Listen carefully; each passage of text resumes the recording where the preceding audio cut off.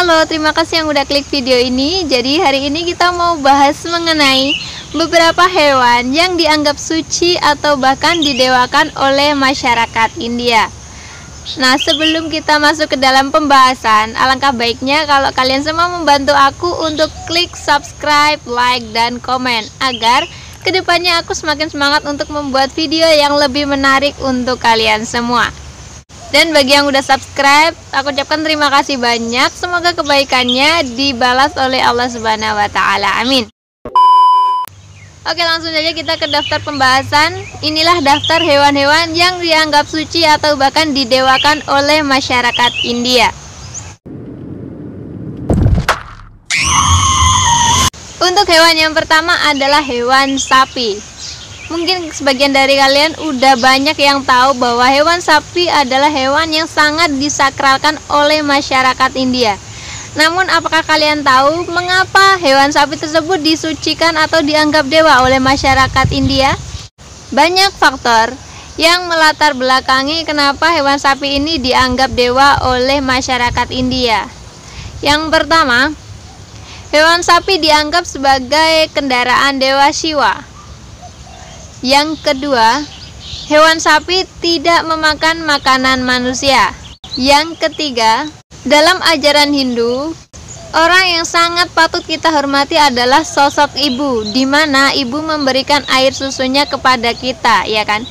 Nah, hewan sapi juga dianggap memberikan air susunya kepada manusia. Oleh sebab itu, hewan sapi juga termasuk ke dalam makhluk hidup yang wajib disucikan. Kemudian yang keempat adalah hewan sapi memberikan banyak sekali manfaat kepada manusia mulai dari tenaganya yang dimanfaatkan untuk membajak sawah. Kemudian air susunya atau bahkan kotorannya pun dapat dimanfaatkan oleh manusia. Nah, apakah kalian juga tahu bahwa sapi di India juga memiliki ID card loh? Bahkan disertai dengan foto dan nomor identitasnya. Nah, kartu identitasnya akan ditempelkan di telinganya, guys. Nah, kalau kalian sempat untuk mengunjungi India, kalian akan sangat terbiasa melihat pemandangan banyak sapi yang berkeliaran di jalan raya, guys.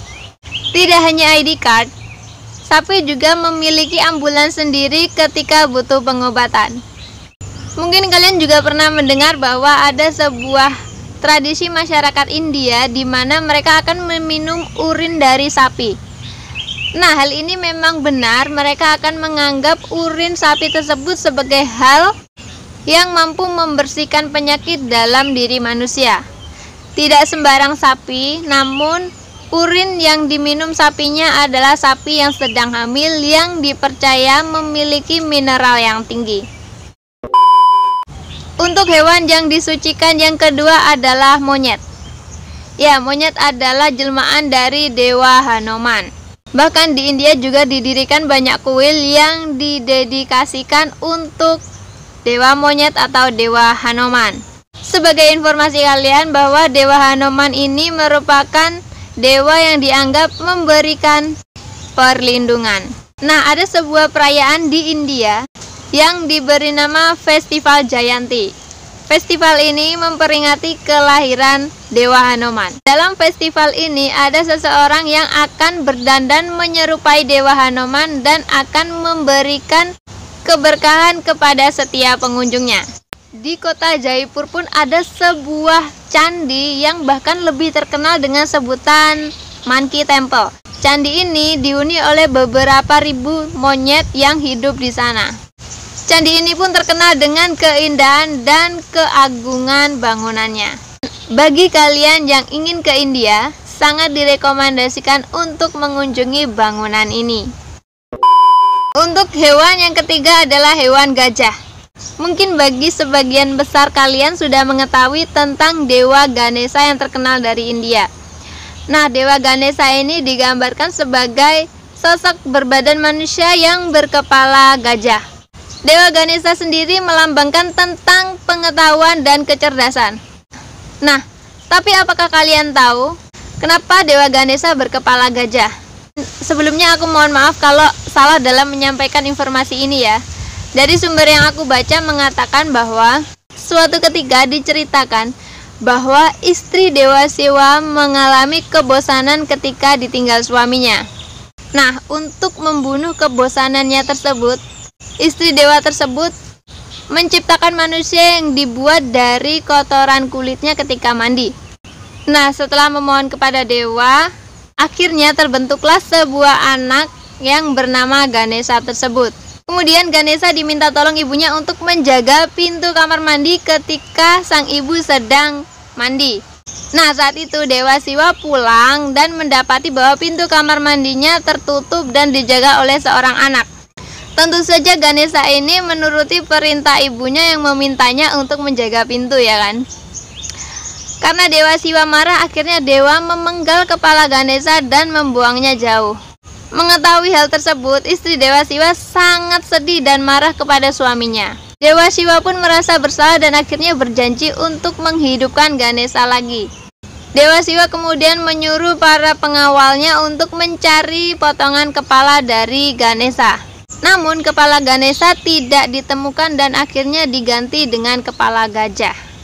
Sekali lagi aku mohon maaf ini sebenarnya agak sensitif karena berkaitan dengan kepercayaan atau keyakinan tertentu ya. Jadi aku mohon maaf banget kalau mungkin ada penyampaian yang salah. Jadi kalian yang lebih tahu mungkin bisa dijelaskan di kolom komentar ya. Terima kasih. Oke, kita pindah lokasi dulu karena agak silau.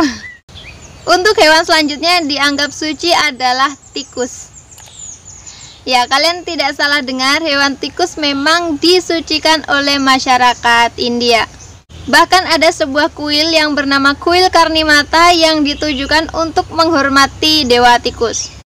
Kuil ini diperkirakan menampung sekitar kurang lebih 20.000 ekor tikus yang setiap harinya rutin diberi makan berupa parutan kelapa, biji-bijian atau bahkan susu. Kalau kalian tertarik untuk mengunjunginya, kuil ini berada di Rajasthan. Masyarakat India sendiri percaya bahwa siapa pun yang memberi makan tikus di kuil ini akan mendapatkan keberkahan dan kemakmuran dalam hidupnya. Namun ada beberapa syarat yang harus dipenuhi untuk mengunjungi kuil ini. Yang pertama, ketika masuk ke kuil kalian tidak boleh menggunakan alas kaki. Yang kedua, kalian tidak boleh membahayakan seekor tikus pun atau bahkan menyakitinya. Jika hal tersebut terjadi, maka kalian wajib untuk menggantinya dengan emas.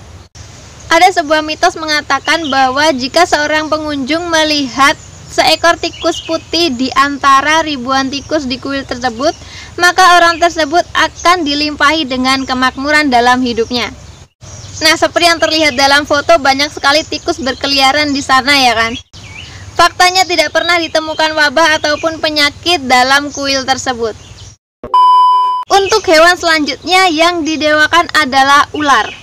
Tidak sembarang ular, ular yang didewakan sendiri adalah jenis ular king cobra. Kenapa kok ular kobra yang didewakan, kok enggak ular yang lain? Nah, sebuah mitos atau kepercayaan mengatakan bahwa Dewa Siwa berkalungkan ular kobra. Hal inilah yang membuat masyarakat India mensucikan ular kobra. Dewa Siwa sendiri melambangkan sebagai sosok yang memberikan perlindungan dari keburukan dan kematian. Ada sebuah perayaan yang dilaksanakan sekitar bulan Juli atau Agustus untuk menghormati dewa ular ini. Dalam perayaan ini, para perempuan akan membawa bunga, manisan, dan susu. Hal tersebut akan dipersembahkan kepada ular kobra yang ada di dalam kuil. Ritual ini sendiri biasanya dilaksanakan di Uttar Pradesh, India. Nah, sebelum perayaannya pun akan dilakukan puasa selama dua hari. Setelah berpuasa, mereka akan pergi ke kuil membawa sesembahannya tadi dan memberikannya kepada seorang pawang ular dan ular kobra. Kita akan melihat gimana ular kobra diberi minum susu oleh para pengunjung. Hal ini merupakan hal yang sangat biasa di sana. Nah, uniknya dalam perayaan ini, para pengunjung tidak takut digigit oleh ular kobra karena mereka percaya ular tersebutlah yang memberi perlindungan kepada mereka. Nah, itu saja informasi yang dapat saya bagikan kali ini. Semoga bermanfaat dan menambah wawasan kita semua. Tetap jaga toleransi antar umat beragama. Jangan lupa like, komen, dan subscribe. Sampai jumpa di videoku selanjutnya.